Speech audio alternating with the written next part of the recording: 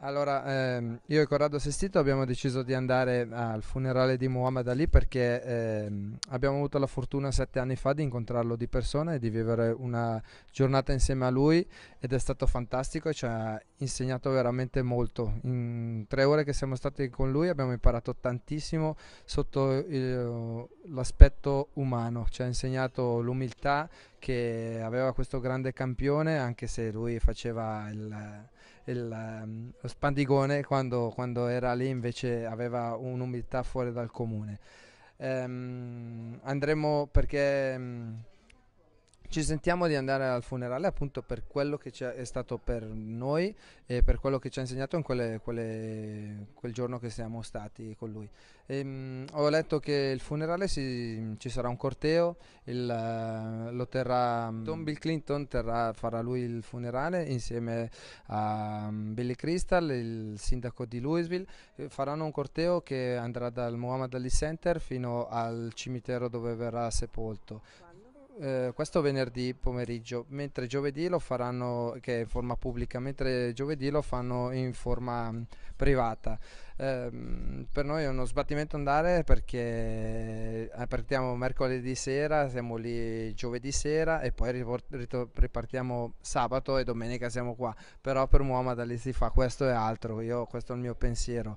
Mm. Muhammad Ali l'abbiamo incontrato nel 2009, era giugno del 2009, il 24 esattamente, lo ricordo molto bene per la giornata e perché il giorno dopo morì Michael Jackson. Infatti eravamo ancora in America e abbiamo letto la notizia della morte di Michael Jackson e abbiamo collegato le cose, guarda te che il caso. L'abbiamo incontrato nella sua tenuta di Berrien Springs, che è nel Michigan, e mh, mm, sono stati loro, sono stati fantastici, infatti hanno veramente eh, espresso quello che che, io immaginavo, siccome io ho letto tantissimo di Ali, sapevo che se lui c'era ci avrebbe incontrato perché ha sempre detto che i fans so, sono la sua anima, se non era per i fans lui non diventava così grande. E poi per un'esperienza personale che ebbe quando venne a combattere a Roma nel 60 che voleva incontrare il suo idolo Sugar Ray Robinson che mh, è stato quattro ore sotto l'hotel a aspettarlo e quando è uscito Robinson lui gli ha spiegato chi era, Robinson gli ha detto ah non mi interessa chi sei e se n'è andato non gli ha autografato, non gli ha fatto l'autografo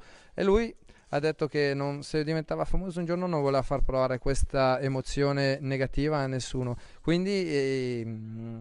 andava in giro con dei biglietti già autografati se non riusciva a fermarsi a autografare chi, chi, chi voleva e li dava piuttosto di far provare quella brutta emozione a, a, alla gente che gli chiedeva l'autografo sulla base di questo noi abbiamo deciso di andare là perché abbiamo detto se c'è se la ragiona così ehm, sicuramente ci incontra però eh, magari era solo scritto nella realtà non era così. Invece io oggi sono orgoglioso di essere testimone di questa cosa che i suoi pensieri erano quelli e li ha sempre mantenuti fino in fondo